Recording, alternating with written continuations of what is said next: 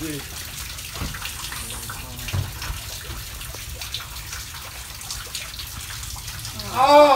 man! Come along and ride on a fantastic voyage.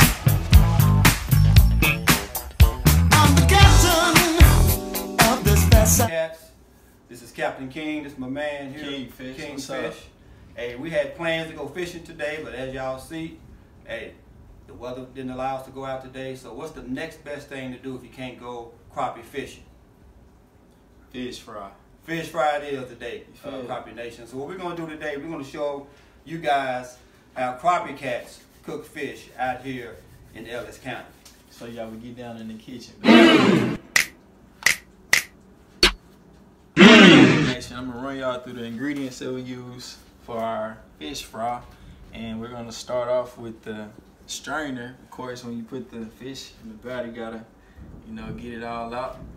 And then next, of course, you got the grease with another strainer inside of it. Uh, I think it's set at 269. I ain't gonna tell y'all exactly what to set it at. Uh, next, world famous Louisiana seasoned crispy fish fry. Got the catfish on the front of it, one of a kind. And then next, of course, plain and simple canola oil. So use that as well. We got our fillets here. You know what I'm saying? Seasoning them up real good. Get them going. And also, last ingredient is our mustard with a little bit more ingredients in it. Keep that a secret. So we're gonna cook it two ways. We'll cook it with this, with the mustard inside of it, and then just regular with the fish fry.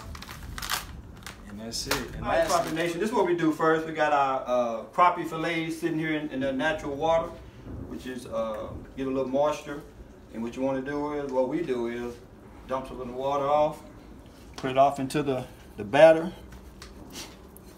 kind of shake it around a little bit, make sure it's evenly coated. And we also have our uh, deep fryer set to 375 degrees. So we're gonna cook this one regular. Pull it out, nice and evenly coated. Take our strainer out, get the fillet in, and drop it in there. So we're gonna let this cook for about two to three minutes. You don't want to overcook the crappie because it really doesn't take that long to get it uh, nice and crispy. Two minutes is up. All right, and as you see, we have a fresh, crispy fillet. All right, what we do, we'll take it out, put it in our strainer, get some of the extra uh, grease off of it, shake it around a little bit, and then we'll put it in our pan.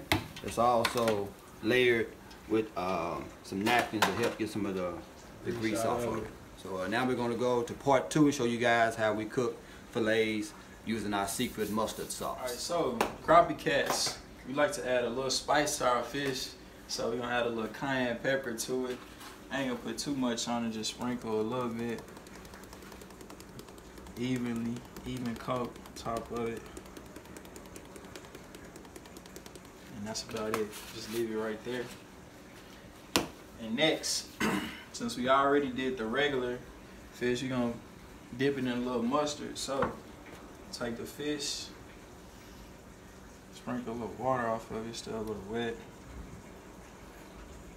Drop it into the mustard on each side. I need a fork, it'd probably be better.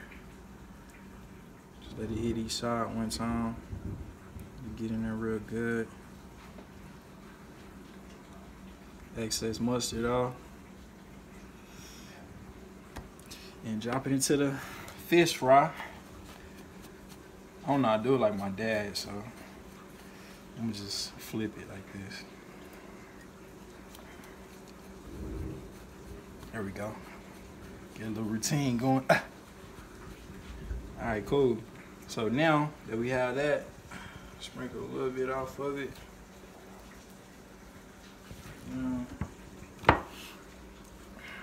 Now it's going in the fryer for two minutes. Let it go. so two minutes is up. Like a nice brown crisp on it. Let some of that grease come off of it for a little bit. And put it in the strainer once again. Some more grease come off of it. I think this is probably the best fish right here. The mustard make it a little crunchy so you can compare the two. You kind of see this one looks some more crispy than that one. So that's the mustard version.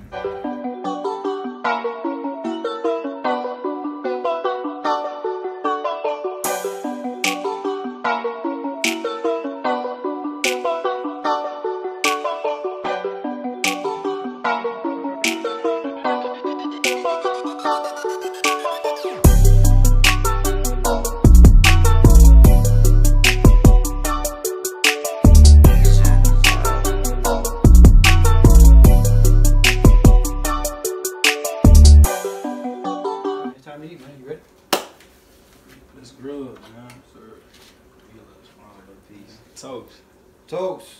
Crappie Cats, baby. Mm, mm, mm. That's pretty darn good, that boy.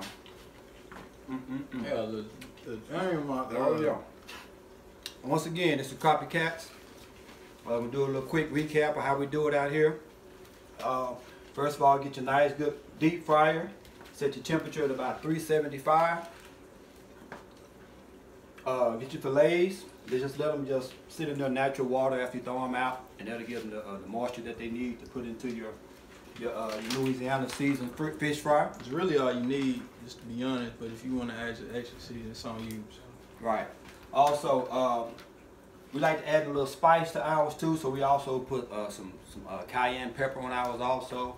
And uh, a good friend of mine by the name of Charles Jordan turned us on to this right here. Oh, it's It's cool. a it's a mustard secret sauce that we add. We're not gonna tell y'all all our ingredients that we put in it other than the mustard. Dip that in the, in the crappie. Dip the crappie into the mustard, and then uh, put the batter on it. Cook it two minutes max. Two minutes max is all you need. Go ahead, uh, take us on out of here, uh, Kingfish. Hey, it's been real. Give me another piece. Let's eat. And make sure you all go like, subscribe, and click the bell for notifications at the bottom. And we'll see y'all next time, man. Have a good one.